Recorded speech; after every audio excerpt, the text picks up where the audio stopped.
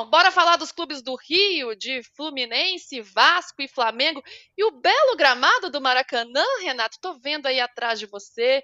Esse Renato, esse Renato, esse gramado seu aí tem problemas ou o seu tá, tá, bonitão aí atrás na foto? O, o, o gramado do Renatão tá sempre 100%. Não tem um buraco, não tem um desnível, não tem montinho artilheiro. Aqui não tem brincadeira. Aqui está sempre 100%, até porque não tem jogo aqui. Então tem essa vantagem. Já o pobre do Maracanã teve jogo do sábado do Fluminense, domingo do com Vasco, com chuva, e vai ter hoje o Fluminense de novo. Imagina o estado do, do, do gramado. Agora, Luísa, vamos falar francamente: o Vasco está jogando de espírito de porco também, né?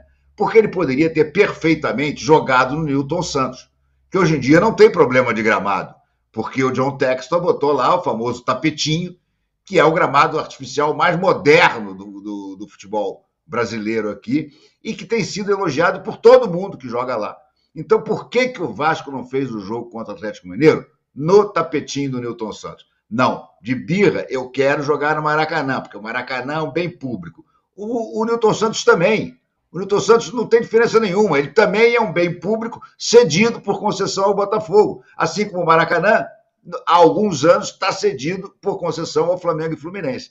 Então é, é, é, tudo uma questão de boa vontade, mas que infelizmente não existe, né? Então, olha, o gramado. Eu sou responsável, eu sou de, defensor da ideia, a diretoria do Flamengo é totalmente contra, mas não apresenta uma solução de botar gramado artificial, estilo do, do, do Newton Santos, no Maracanã. Sabe? Esse campo do Maracanã é uma vergonha. É uma vergonha. O Flamengo já perdeu alguns jogadores por pisar em buraco. O Bruno Henrique, por quase um ano. Olha o tamanho desse prejuízo. O Varela, que voltou agora e se contundiu, coitado, depois de levar um soco no nariz, pisou no buraco do Maracanã e torceu o joelho numa contusão séria.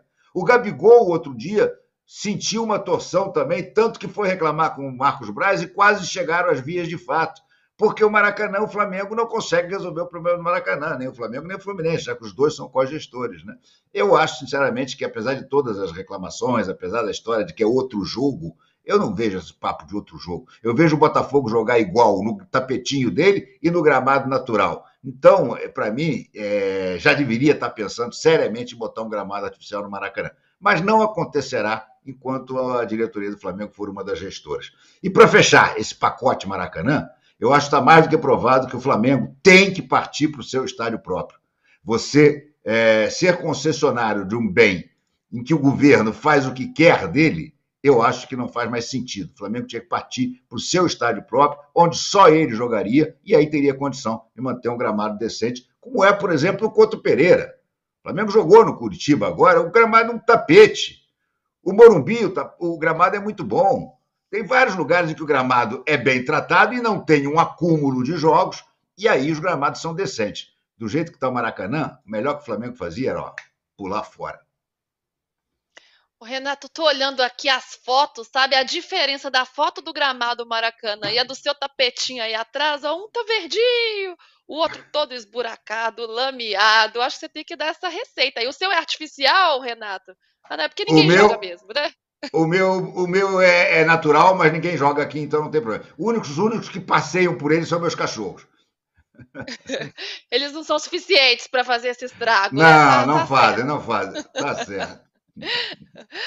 Perrone, fato é que o Vasco já jogou, conseguiu uma liminar para jogar lá, jogou e agora o Pepino tá com Flamengo e Fluminense, que são os dois concessionários do estádio, né? Em especial o Fluminense, porque tem jogo decisivo pela Libertadores contra o Olímpia do Paraguai. E a questão é o que que esses dois clubes, o que que a dupla Fla-Flu vai fazer diante dessas condições precárias? E lembrando que há a possibilidade de um aumento do número de jogos também. Renato já deu aqui algumas soluções: mudar o gramado para fazer um gramado sintético, é, o Flamengo construir o próprio estádio. Para você, como resolver esse problema? É de fato a construção de um novo estádio ou jogar em outras regiões do país, uma Mané Garrincha, por exemplo? Seria uma alternativa? Como é que dá para resolver essa questão? Eu acho assim, a ideia que o Renato dá, a sugestão para o Flamengo construir um estádio é é maravilhosa. Seria maravilhoso para o Flamengo ter o seu próprio estádio. Agora, eu acho que a solução para isso é bem simples, é o diálogo. Quer dizer, em tese seria simples. Porque essa situação do Maracanã, na minha opinião, ela, ela ajuda a gente a entender por que é tão difícil os clubes se unirem para realizarem uma liga. né, para construírem uma Liga Nacional de Clubes e tal, aquela coisa, aquele sonho, o sonho sempre vai emperrando, vai se arrastando, porque os caras não conseguem se organizar em coisas simples. Você já sabe o calendário, você já sabe quanto cada time vai ter que jogar no início da temporada.